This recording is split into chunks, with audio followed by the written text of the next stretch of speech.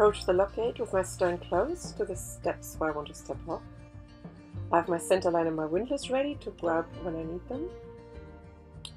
Slow down gently so that the stern does not get pushed away from the steps.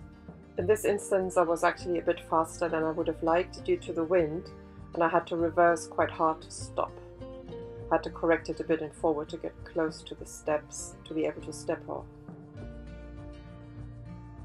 So as you can see, I don't stop the boat fully, but I let it drift just very, very slowly, so that it goes into the lock all by itself. I walk up the steps with the rope and the windlass and feed the rope over the gate and let the boat drift into the lock.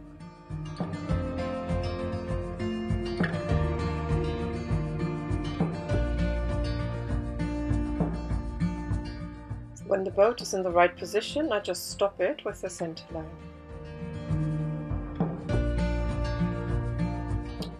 And when the boat is fully stopped, I put the center line around the bollard twice and lay out the rope towards the upper end of the lock so that I can easily reach the rope when I'm working at the top and also that the rope cannot snag on anything.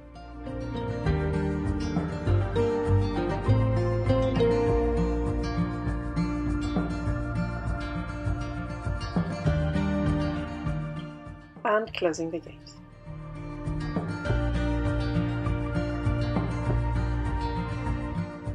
I start opening the ground paddle on the side where the boat is on because the flow of the water keeps the boat on the near side.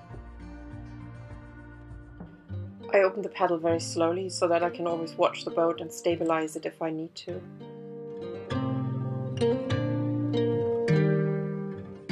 So when the lock is ready, I'll just open the gate and close the paddle as normal.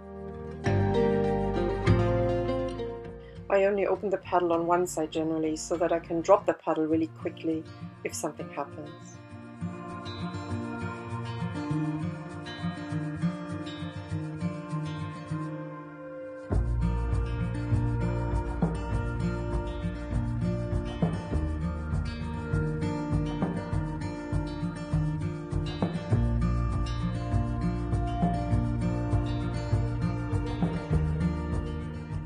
Step back onto the boat and I take it out of the lock.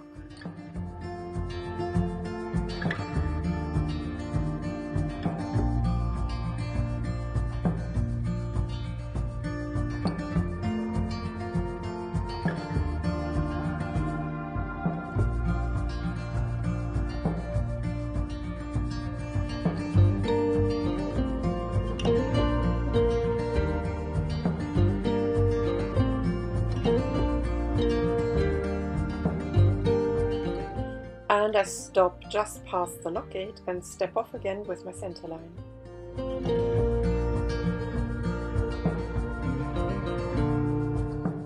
Now if your center line is long enough, you can just keep it in your hand when you close the gate. Otherwise you can just tie it very loosely around a bollard. The boat's not going to go anywhere in those few seconds. You just need to make sure that the stern is beyond the gate so you can actually close it.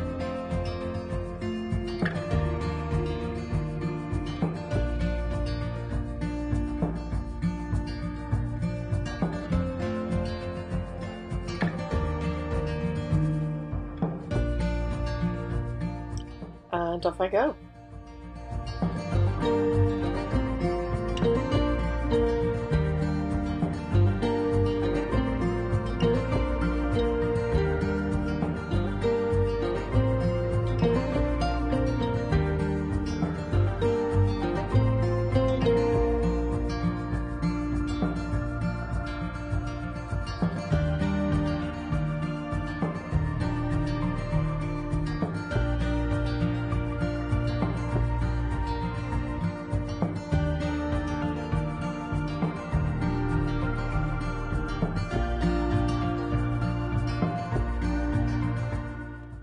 The lock as you're going down is really easy, of course, as you can just step off with your windlass and your center line on the side.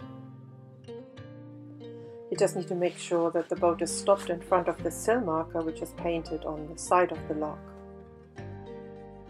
This boat is 60 foot long and I aim to be about 2 meters in front of the sill marker when the boat is stopped.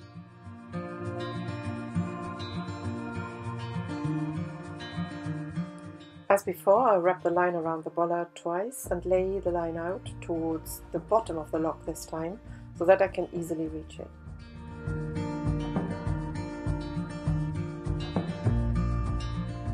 And closing the gate.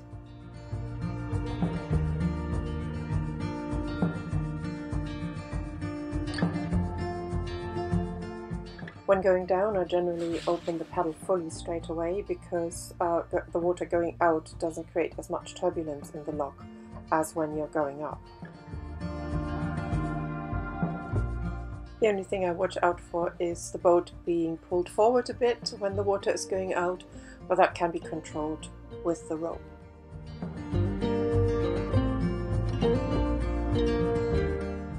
If the lock is not too deep, I also open both paddles when going down.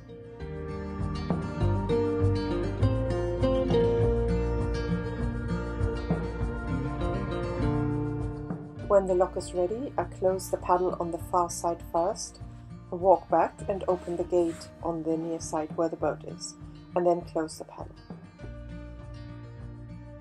Then I start pulling the boat out of the lock. Now the trick here is that I need to give the boat just enough momentum to drift past the bottom gates, but also be really, really slow at that point.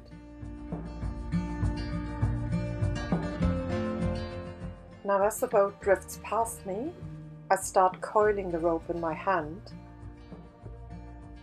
so that it doesn't snag on anything.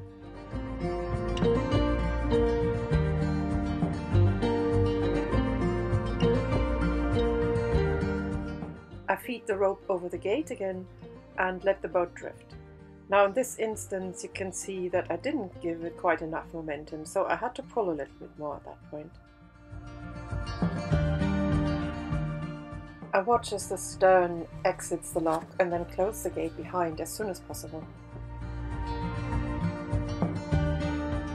You can see how I'm holding the coiled rope in my left hand in this instance and as the boat drifts past, I can drop one coil after the other to keep it really neat.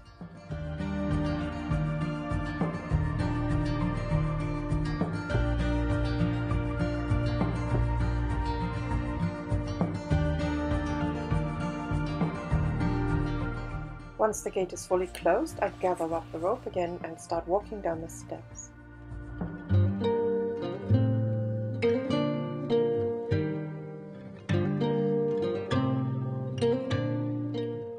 This instance I've timed it quite well, so the stern arrives at the bottom of the steps just as I come down. And off I go.